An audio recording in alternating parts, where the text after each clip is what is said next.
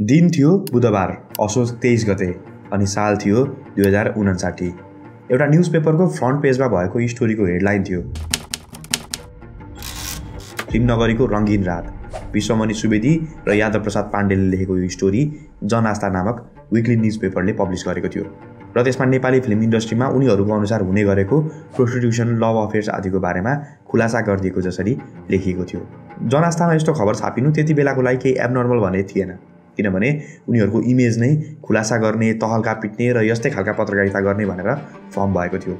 जनआस्थाले यस्तै खबरहरू बेला बेला छापिरहन्थ्यो। यो खबर पनि केही दिनमा त्यत्तिकै सेलाएर जान्थ्यो होला। केवल एउटा कुरा नभएको भए।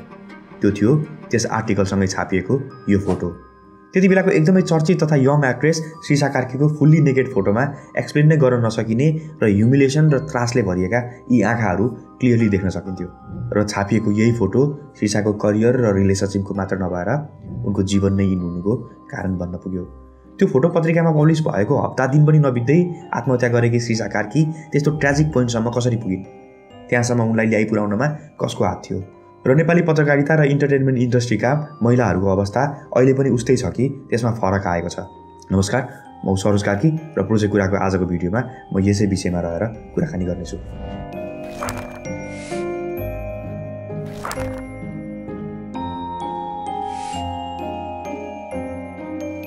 सिसा कार्की जम्मा चौबिस वर्षकी थिइन् र फिल्म इन्डस्ट्रीमा आएको छ वर्षमै उनले दुई दर्जनभन्दा बढी मुभीहरू खेलिसकेकी थिइन्। एक्सक्युज मी के तपाईँ मलाई साथ दिन सक्नुहुन्छ?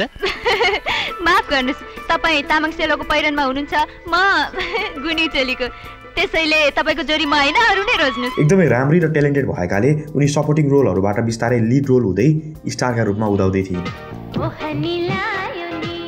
तर त्यो एउटै समाचार र फोटोले उनको छ वर्षको मेहनत र पुरै जिन्दगी नै बर्बाद पारिदियो। त्यो फोटो हेर्दा सिसाको अनुहारको पीडा नै महसुस हुन्छ।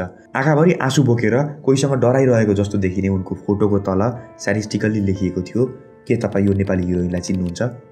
त्यस न्युजमा सिसा कार्कीसँगै जलसा करिश्मा मानन्दर निरुता सिंह पूजा चन्द लगायतका नेपाली फिल्म इन्डस्ट्रीका अरू थुप्रै नायिकाहरू पनि यो व्यवसायमा लागेको र पाँचदेखि दस हजार रुपियाँमा नै व्यापारी प्रहरीका हाकिमहरू र उच्च औदाका मानिसहरूका लागि उपलब्ध हुने भनेर घिनलाग्दो आरोप लगाइएको थियो।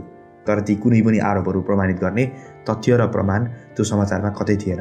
आफ्नो कुरा प्रमाणित गर्नको लागि र हो जस्तो देखाउनको लागि पत्रिकाले सिसा कार्कीको त्यो न्युड फोटो छापेको थियो। त्यसैले त्यस समाचारले सिसालाई सबैभन्दा बढी असर पार्यो। त्यो फोटो पब्लिस भएको बेला सिसाको इङ्गेजमेन्ट पनि भइसकेको थियो र बिहेको तयारी हुँदै थियो। फोटो उनको हुनेवाला श्रीमानले देखेपछि सिसाले जति नै आफ्नो साइडको स्टोरी बुझाउन खोज्दा पनि उनीहरूको सम्बन्ध टुट्यो। सिसाको एक साथीले भनेअनुसार त्यति बेलासम्म पनि सिसा सकेसम्म स्ट्रङ र फाइट गर्न नै खोजिरहेकी थिइन्। तर उनलाई साथ दिनुपर्ने सोसाइटी र इभन महिलाहरूले नै उनलाई साथ दिएनन्। उल्टै दोष दिए। तर पनि लाइफलाई बिस्तारै नर्मल ट्र्याकमा ल्याउँदै गरेको उनले एउटा एकदमै नराम्रो एक्सपिरियन्स भोग्नु पर्यो उनी एउटा ब्युटी सेलुन छिर्दा एउटा महिला स्टाफले आज त फुल कपडामा आउनु भएछ त बिना कपडा नै हिँड्ने बानी लागेको थियो जस्तो लागेको थियो मलाई भनेर भनेकी थिइन्। त्यसपछि उनी पार्लरबाट दौडिँदै निस्किन्। त्यसैको केही घन्टापछि नै उनको डेड बडी उनको घरमा भेटेको थियो। भिडियोमा अगाडि बढ्नुभन्दा अगाडि यदि तपाईँ नयाँ इन्टरनेट कनेक्सनका रूपमा वर्ल्ड लिङ्क जोड्न चाहनुहुन्छ भने तपाईँको लागि दुईवटा खोजेका खबरहरू छन्। पहिलो अब तपाईँले घरमै बसेर वर्ल्ड लिङ्कको नयाँ कनेक्सन जोड्न सक्नुहुन्छ र दोस्रो हाम्रो भ्युवर्स भएको कारण तपाईँको लागि एउटा स्पेसल अफर पनि छ। तपाईँले घरबाटै इन्टरनेट कनेक्सन लिनका लागि Worldlink dot com dot NP वेबसाइटमा गएर आफूलाई चाहिएको प्लान छनौट गरेर बाई प्लानमा क्लिक गर्नुहोस्। त्यसपछि आफ्नो डिटेल्स हालेर रजिस्टर गर्नुहोस्। त्यसपछि नजिकै पर्ने वर्ल्डिङको ब्रान्च आफूलाई सजिलो हुने डेट र टाइम अनि इन्टरनेट जोड्नुपर्ने एड्रेस र गुगल म्याप लोकेसन राखेर प्रोसिड टु पेमेन्ट गर्नुहोस्। त्यसपछि तपाईँले खल्ती वा ई सेवामध्ये कुनै एक वालेटबाट पेमेन्ट गर्नुहोस्। यसपछि तपाईँले भनेकै स्थान दिन र समयमा वर्ल्डिङको इन्स्टलेसन टिमले नयाँ कनेक्सन जोडिदिनेछ। र प्रोजेक्ट कुराको भ्युवर्सहरूको लागि स्पेसल अफर अनुसार कुपन कोड पिके फिफ्टी ल्याएका छौँ। नयाँ कनेक्सन लिँदा यो पिके फिफ्टी कुपन कोड प्रयोग गर्ने पहिलो पचासजना कस्टमर्सहरूले टेन पर्सेन्टको स्पेसल डिस्काउन्ट पाउनुहुनेछ। यो डिस्काउन्ट तिन वा बाह्र महिनाको प्याकेज लिने नयाँ कस्टमरहरूको लागि मात्र हो र आउने अप्रिल थर्टीसम्मको लागि मात्र यो भ्यालिड हुनेछ। त्यसैले ढिलो नगरी नयाँ कनेक्सन लिनको लागि वर्ल्डिङको वेबसाइटमा गएर पिके फिफ्टी कुपन कोडको प्रयोग गर्नुहोस्। अब भिडियोमा अगाडि बढौँ। सिसाको आत्महत्या इन्भेस्टिगेसन गर्दै गरेको पुलिसले सिसाको त्यो फोटो खिचेको घर पत्ता लगाउँदा त्यो घर प्रहरीको जागिर छोडेर फोटो पत्रकार भएका उद्धव भण्डारीको कोही आफन्तको भएको भनेर पत्ता लागेको थियो। पछि भण्डारीले शीर्षालाई आठ हजार रुपियाँ दिएर त्यो फोटो खिचेको हो भनेर बताएको पाइन्छ। तर अरू जर्नलिस्ट र शीर्षाको फ्यामिली मेम्बर्सहरूको अनुसार उनलाई भण्डारी र अर्को फिल्म डिरेक्टर मिलेर जबरजस्ती नाङ्गो बनाई फोटो खिचेका थिए। हुन त शीर्षाको त्यो तस्विर हेर्दा पनि जबरजस्ती नै खिचेको भनेर प्रश्न देखिन्छ। अनि शीर्षाले पनि सुरुमै उनीहरूले जबरजस्ती आफ्नो फोटो खिचेको भनेर पुलिसलाई कम्प्लेन पनि गरेकी थिइन्। तर यसमा पुलिसले खास केही एक्सन नै लिएन। त्यसपछि पनि शीर्षा र उनका बुवाले फोटो सार्वजनिक नगर्नु भनेर डेढ वर्षसम्म अनुरोध पनि गरेका थिए। फोटोग्राफर भण्डारीसँग फिल्म रिट्रिभ गर्नको लागि उनी गएकी पनि थिइन्। तर त्यस बेलासम्म भण्डारीले जनआस्थाका सम्पादक किशोर श्रेष्ठलाई त्यो फोटो जिम्मा लगाइसकेका थिए। भनिन्छ त्यो फोटो जनआस्थामा छापिनुभन्दा डेढ वर्ष अगाडि नै खिचेको थियो र फोटो खिचेदेखि न्युज पेपरमा पब्लिस नहुन्जेलसम्मको पिरियडमा त्यही फोटो देखाएर उनीहरूले बारम्बार उनलाई ब्ल्याकमेल गरिरहेका थिए। यो कुरा उनको इङ्गेजमेन्ट पछिसम्म पनि निरन्तर नै भइरह्यो। पछि किशोर श्रेष्ठले पनि सिसालाई त्यस्तो नराम्रो काम नगर्न भनेर बारम्बार सम्झाएको र वान पनि गरेको। तर उनले कुरा नसुनेपछि सही बाटोमा ल्याउनको लागि त्यो कदम चालेको भनेर बताएका थिए। भण्डारीले पनि आफूले उनलाई सुधार्नका लागि र नेपाली फिल्म इन्डस्ट्रीलाई सफा गर्नको लागि सिसालाई आठ हजार रुपियाँ दिएर बोलाएको र फोटो खिचेको बताएका थिए। उनले आफूलाई महान देखाउन खोजे पनि काठमाडौँका तत्कालीन डिआइजी अमर सिंह शाहले राम्रोको लागि अपराध गरेको भन्दै आफूलाई सफा देखाउने अपराधीहरूको मानसिकता नै भएको भनेर बताएका थिए। श्रेष्ठ र भण्डारीको यो आफ्नो एक्सन जतिसुकै गिरेको भए पनि त्यसको कारण समाजलाई सफा राख्न र समाजकै राम्रोको लागि गरेको भनेर मान्नु कमनली क्रिमिनल्सहरूमा भेटिने माइन्डसेट हो। अझ किशोरले त आफूसँग पाँचवटा एकदमै अश्लील फोटोहरू भएको र त्यसमध्ये सबैभन्दा र अलि सभ्य फोटो छानेर पब्लिस गरेको भनेर आफ्नो स्टेटमेन्टमा भनेको सुन्दा पनि उनलाई आफूले कत्रो ठुलो अपराध गरेको भनेर रियलाइज नै नभएको भनेर बुझ्न सकिन्छ। र त्यसरी छापिएको फोटोले टाइटलमा लेखिएको अनुसारको रङ्गीन रात नभएर नेपाली फिल्म इन्डस्ट्री र पत्रकारिताको बाहिर नदेखेको एकदमै कालो र घिनलाग्दो अवस्था चाहिँ प्रष्ट गरेको थियो र त्यही कालो अवस्थाले सिसाको ज्यान लिएको थियो। सिसा कार्कीको मृत्यु भएपछि माइती घर मण्डलामा ठुलो प्रोटेस्ट भयो। नेपाली सिनेमाका ठुला ठुला सेलिब्रिटीहरूले पनि प्रोटेस्टमा भाग लिँदै किशोर श्रेष्ठ जनआस्थाको विरोध गरेर कडाभन्दा कडा कारवाहीको माग गरे। भारी विरोध र आलोचनापछि त्यस बेलाको प्राइम मिनिस्टर लोकेन्द्र बहादुर चन्दले पनि फिल्म एसोसिएसनका मान्छेहरूलाई भेटेर यो विषय राम्रोसँग इन्भेस्टिगेसन हुनेछ भनेर आफैले पनि यो कार्यको निन्दा गरेका थिए। फिल्म आर्टिस्ट एसोसिएसनले कार्की जिउँदो हुँदै गर्दाखेरि श्रेष्ठ जनआस्था विरुद्ध कडा कदम चाल्नको लागि केस फाइल पनि गरेका थिए। तर नेपालमा डिफेमेसनको म्याक्सिमम् पनिसमेन्ट जम्मा पाँच हजार जरिवाना र दुई वर्षको सजाय थियो र सार्वजनिक अपराधको केस लगाउँदा पनि म्याक्सिमम् पनिसमेन्ट दस हजार रुपियाँ र दुई वर्षको जेल मात्र हुने थियो। आत्महत्या गर्न उक्साउने वा बाध्य बनाउने अपराधको लागि त झन् कानुनमा केही सजाय नै उल्लेख थिएन।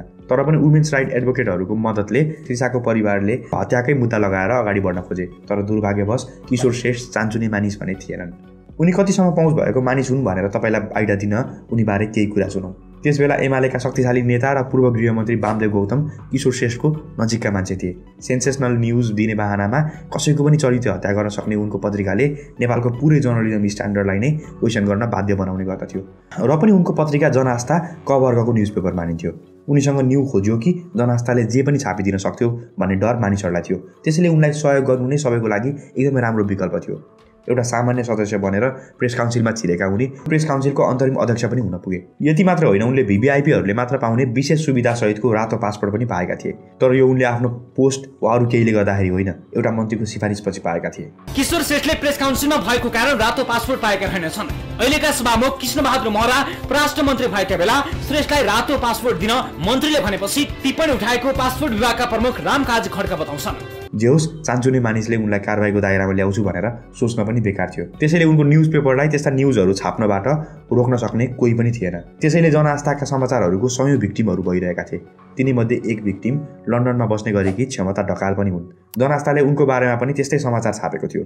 सुन्दरीको जालमा धेरै सकाप भन्ने शीर्षकमा उनको व्यक्तिगत फोटोसहित त्यो समाचार पनि चरित्र हत्या गर्ने इन्टेन्सनले नै छापिएको थियो। क्षमताले त्यो भ्रामक समाचार र फोटो पब्लिस गर्ने पत्रिकासँग लड्ने विचार गरिन्। तर उनको परिवारले अर्को सिसा नहुनु भन्दै उनलाई चुप लागेर बस्न भन्छन्। मेरो पर्सनल इस्युहरू उहाँहरूले कुन आधारमा पत्रिकामा लेख्नुभयो होइन?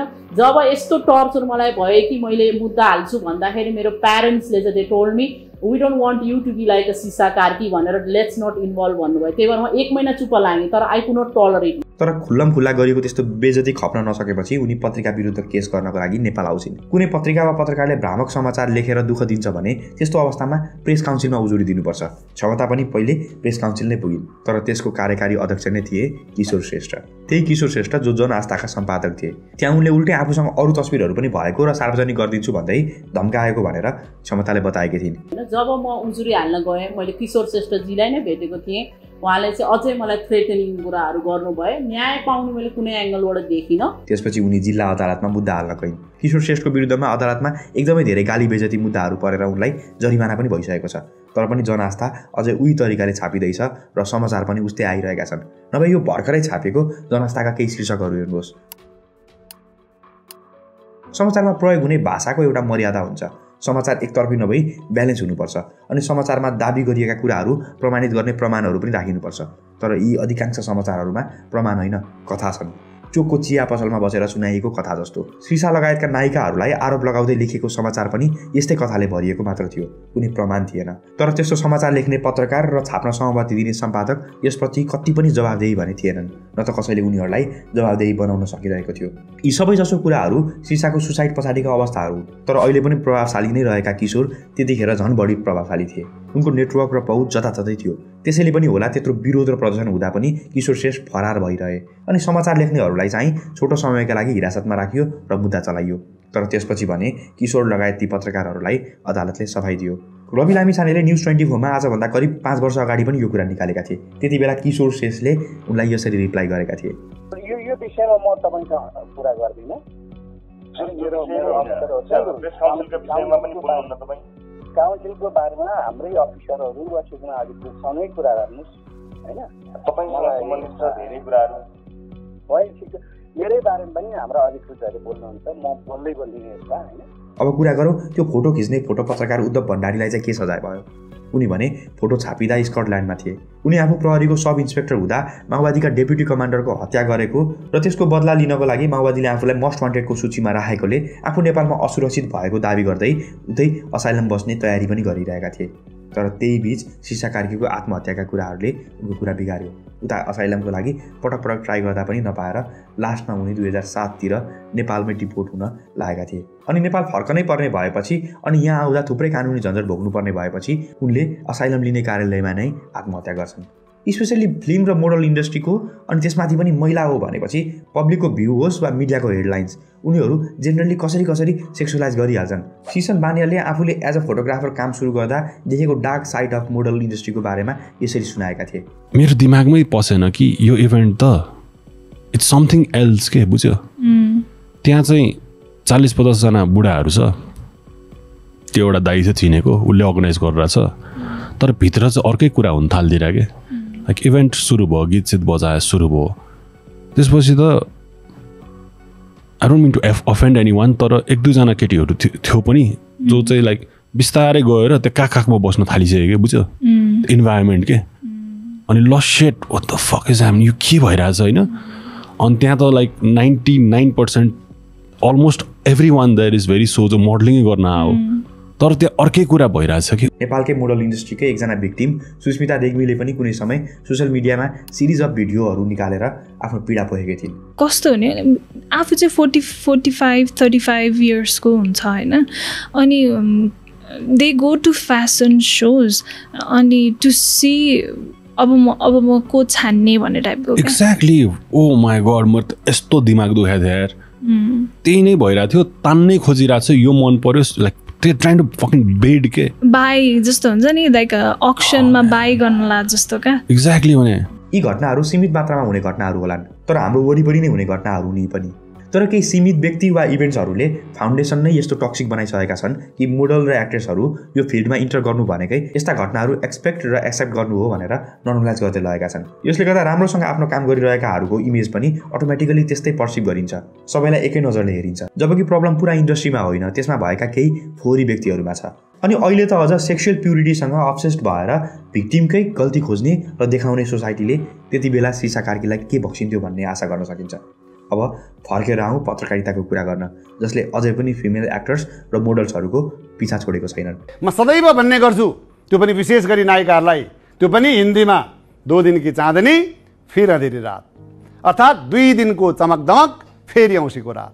त्यसैले यहाँ कसैले घमण्ड नगरे हुन्छ। इन्टरटेनमेन्ट जर्नलिजमलाई त्यति धेरै सिरियसली नलिने गरिए तापनि एक्टर्सहरूको बारेमा जान्ने उत्साह भने अडियन्समा बढ्दो क्रममा देखिन्छ। यही कुराको फाइदा उठाउन जर्नलिस्टहरूले सकेसम्म सेन्सेसनल हेडलाइन र स्टोरीहरूको खोजीमा वुमनलाई अब्जेक्टिफाई गर्ने ट्रेन्ड अझै रोकिन सकेको छैन। जस्तै शुक्रबार नेसनल विकलीमा छापिएको यो आर्टिकल हेर्नुहोस् जसमा प्रियङ्का कार्की विवाहपछि उनले पहिला जस्तो अर्धनग्न लुगा लगाएर पिक्चर्सहरू पोस्ट गर्न छोडेको र संस्कारी महिला भएको र यदि उनले यही पाराले अगाडि बढ्ने हो भने उनले घर गरी खाने र बुहारी बन्ने पक्का छ भनेर छापिएको थियो। पछि द काठमाडौँ पोस्टले यही टपिक कभर गर्नको लागि उनलाई सोद्धा प्रियङ्का कार्कीले नेसनल विकलीहरूमा यो न्युजको आवश्यकता नै नभएको भनेर क्वेसन उठाएकी थिइन्। र क्लोथिङ स्ट्यान्डर्ड र महिलाहरूको मोरालिटीको स्ट्यान्डर्ड गुड वा ब्याड श्रीमती वा बुहारी भनेर डिटर्माइन गर्नु एउटा प्रब्लमेटिक इरर हो भनेर उनले भनेकी थिइन्। के के अधिकारीले पनि आफ्नो एक दशकभन्दा लामो करियर भइसक्दा पनि हरेकचोटि अन्तर्वार्ताहरू दिँदा आवश्यक वा प्रोफेसनल क्वेसनहरू चाहिँ एकदमै कम सोधिने भनेर भनेकी थिइन्। लक र कनेक्सनभन्दा बाहेक एक्ट्रेसहरूले फिल्महरूमा रोल पाउने आधार अरू पनि छन् भनेर नेपाली सोसाइटीले एक्सेप्ट गर्न नै नसकेको भनेर उनले पोइन्ट आउट पनि गरेकी थिइन्। अनि इन्टरभ्यूहरूको कुरा त अझै बढी बिग्रिएको छ। ऋषि धमलाले रिचा शर्मासँग धमलाको हमलामा गरेको यो प्रश्नको शैली हेर्नुहोस्। त्यसमा चलचित्र क्षेत्रमा अभिनय गर्ने नायिकाहरू सबै राम्रा छैनन्।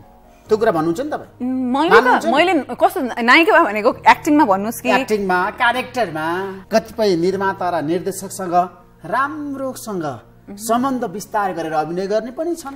होला त्यस्तो पनि होला। जसलाई आफ्नो अभिनय प्रति आफ्नो क्षमता प्रति- प्रति विश्वास छैन उहाँहरूको हुन्छ। साँच्चीकै भनियो नि खुसी पारेपछि सबै कुरा पाइन्छ चलचित्रमा। सबैको त्यस्तो हुँदैन कथा। निर्मातालाई खुसी पारेपछि। सबैको त्यस्तो कथा हुँदैन ऋषिजी। वा निरुदा सिंहको यो भिडियोको टाइटल हेर्नुहोस् जसमा उनको एक्टिङको कुरा मेन्सन नै गरिएको छैन। बरु निरुदा सिंहको प्रेम सेक्स र रोमान्सको यसरी भयो खुलासा भनेर राखिएको छ। यस्ता इक्जाम्पल्सहरू अझै एकदमै धेरै मात्रामा छन् जहाँ नेपालका केही जर्नलिस्टहरूले इथिक्स र मोरालिटीको बााउन्ड्रिजलाई क्रस गरेर क्लिक बेटी टाइटल राखेर अडियन्सहरू तान्ने खेल मात्र रचिरहेका छन्। हुन पनि अडियन्सहरू पनि यस्तै खालका कन्टेन्टहरू बढी कन्ज्युम गर्न रुचाउँछन् र यस्ता कुराहरूले ती कलाकारहरूको प्रोफेसनल मात्र नभएर पर्सनल लाइफमा पनि कति गहिरो असर पार्न सक्छ भनेर न त जर्नलिस्टको दिमागमा हुन्छ न त अडियन्सको नै। खासमा सबैभन्दा पहिले यो प्रश्न हुनुपर्ने हो कि सिसा सुस्मिता जस्ता पढे लेखेका ट्यालेन्टेड यङ केटीहरूले आफ्नो राजधानीमा आएर जे पनि गर्न सक्थ्यो होला। तर उनीहरूलाई त्यसरी शक्ति र पहुँच भएका मानिसहरूकै हातमा फस्नुपर्ने बाध्यता कसरी क्रिएट हुन पुग्यो? खैर यो एन्सर गर्नको लागि देशका अनेकौँ कमी कमजोरीहरू प्रस्ताउनु पर्ने हुन्छ। तर आज हामी मात्र प्रश्न गर्छौँ कि नेपालको जर्नलिजमको इथिक्स र स्ट्यान्डर्डलाई फ्याक्ट चेकिङमा इन्ट्रेस्ट नै नदिई भिक्टिम ब्लेमिङवाला किन बनाइयो? र प्रश्न गर्छौँ हाम्रो सोचलाई। अनि शक्ति र पहुँच भएको मानिसले जस्तोसुकै घिनलाग्दो क्राइम गर्दा पनि उनीहरू फ्रिली उम्कन र बाँच्न सक्ने नेपाली चलनलाई। सिसाको घटना हुँदा अहिले यसरी स्पिडमा फैलिने गरेको सोसियल मिडिया थिएन। अहिले त्यस्ता कुरा झन् कति चाँडो फैलिन्छ होला र त्यसको प्रभाव अझै कति धेरै पर्छ होला र यसले कति धेरै जीवनलाई ड्यामेज गर्न सक्छ होला र यो ड्यामेजलाई दुईवटा कुराले मात्र रोक्न सक्छ। पहिलो हाम्रो अवेरनेसले र दोस्रो फेरि सिसा जस्तै अरू कोही भिक्टिम हुँदा हामी कसरी प्रस्तुत हुन्छौँ भन्ने हाम्रो व्यवहारले।